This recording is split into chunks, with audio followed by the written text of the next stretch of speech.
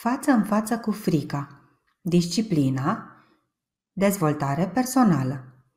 O resursă pentru clasa 1. Bun găsit!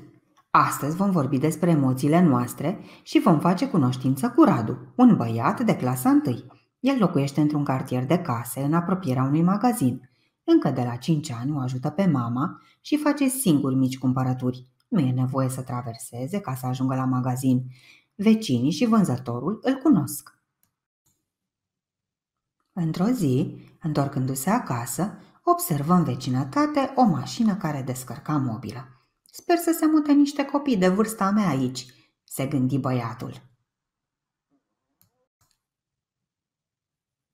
Câteva zile mai târziu, Radu se întorcea cu lapte de la magazin. Când trecu prin fața gardului unde se mutaseră noi vecini, de nicăieri apăru un câine mare care începu să latre puternic. Radu scăpă laptele din mână. Inima lui bătea tare să-i spargă pieptul. Genunchii tremurau. Ridică apoi laptele de pe jos și grăbi pasul. Stop! Îți propun să discutăm. Ce crezi că va face Radu mai departe? Tu cum ai proceda dacă ai fi în locul lui? Ajuns acasă, puse laptele în bucătărie și intră repede în camera lui ca să se liniștească. Nu le zise nimic părinților despre câine. Nu voia să le spună cât de speriat fusese. Se gândi să-și pună masca de băiat curajos, de teamă că cineva ar putea să râdă de el. A doua zi, mama îl trimise să cumpere câteva pliculețe de ceai pentru bebe. Radu răspunse că mai are teme și nu se poate duce. După un timp, când îl auzi jucându-se, mama îl rugă încă o dată. Acum găsi altă scuză. Îmi doare mâna, nu pot căra nimic. Mama înțelese că era ceva în neregulă. Radu, tu ești ajutorul meu, mă bazez pe tine. Nu mai sunt, zise Radu trist. Stop, să ne oprim și să discutăm. De ce evită Radu să mai meargă singur la magazin? De ce își ascunde emoțiile adevărate? Cum va proceda mama lui Radu?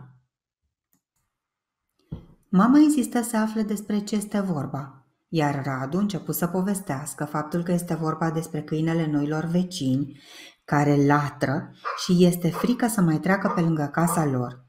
Mama l-a ascultat cu atenție, apoi cu Radu de mână, au plecat împreună la magazin – ca să nu fie în apropierea câinelui, cei doi au circulat pe cealaltă parte a trotuarului, în timp ce câinele lătra cu putere. Ție ți-a fost vreodată frică de un câine? Ce-ar fi să ți-l imaginezi într-un fel în care să te facă să râzi?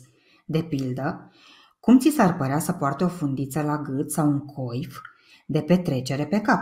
Sau un clopoțel prins de coadă? Sau niște papuci de plajă? Ți-ar mai fi frică sau te-ar amuza? Radu a înțeles că cel mai important este că atunci când se teme de ceva să vorbească. Mult timp după această întâmplare i-au răsunat în urechi cuvintele mamei. Nu putem să te ajutăm dacă nu știm despre ce este vorba. Oricare dintre noi se poate teme de ceva. Este foarte important să vorbești cu cineva în care ai încredere și să-i spui ceea ce simți. Să discutăm. Ție de ce îți este frică? Este important să ne recunoaștem emoțiile și să discutăm despre ele.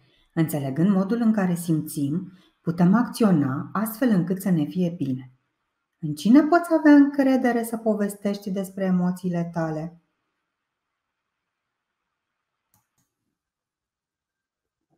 Este timpul pentru tine și emoțiile tale. Desenează sau modelează un obiect care să te facă să te simți bine în momentul în care ți este teamă. Ai nevoie de un haios care să te facă să râzi sau de un ursuleț protector? Sau poate ai nevoie de o scoică ascultătoare.